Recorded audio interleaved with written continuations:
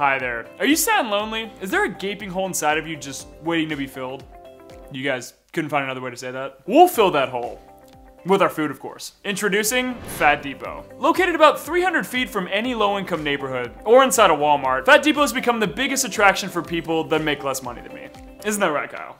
Wait, what? You're poor. Anyways, as a fast food restaurant, we prioritize speed over literally anything else. So if you're looking for quality, good customer service, or basic nutrition, I'm gonna need you to locate the goddamn exit. Despite all the bad, our food's actually surprisingly really fresh out of the freezer. But as soon as it's thrown into the fryer and then onto a cold shell for 20 minutes and then the microwave because it was on a cold shell for 20 minutes, I can assure you that it will taste extremely average. At least it looks good though, right?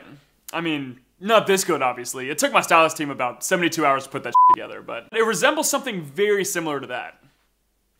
I think. I actually haven't eaten here yet, so. But luckily for us, you'll put literally anything in your body if we make it cheap enough. Go ahead, Kyle, take a bite. This is actually really bad. But at least it was fast, and that's all that matters. Do you guys have anything a bit healthier? Would you shut the hell up? Now, here's a quick video of some random people smiling to make it look like people actually enjoy coming here. Look at them, having a great time and whatnot.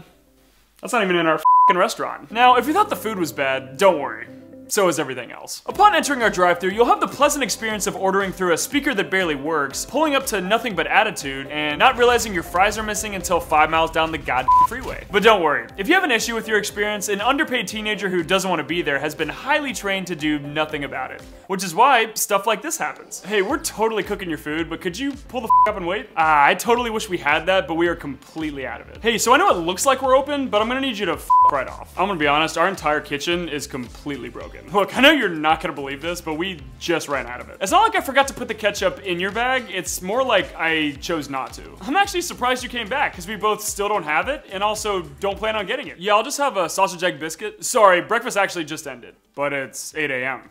Change your order, please. But then sometimes, there's always that one employee that actually does do something about it. Hey, I think you guys forgot to put cream in my coffee. Oh yeah? Let me get that for you why are you pulling your pants down? Anyways, here's some more B-roll of people enjoying themselves. That should get your mind off of what you just witnessed. There we go. That one was shot at Outback Steakhouse. Now you're probably thinking, Bob, that's not my real name. What about my kids? Should I let my kids eat here too?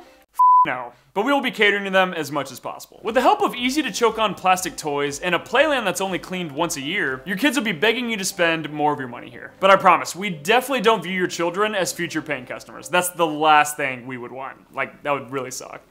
Insert more B-roll here, and that's good. Now all this probably sparks a few questions, like, is all this legal? Do we violate child labor laws?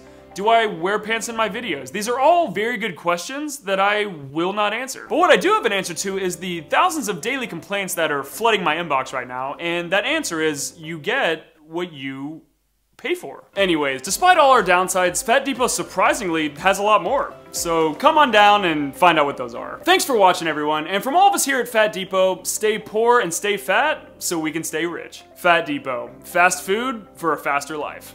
Get it? Cause diabetes will speed that up. Alright, goodbye.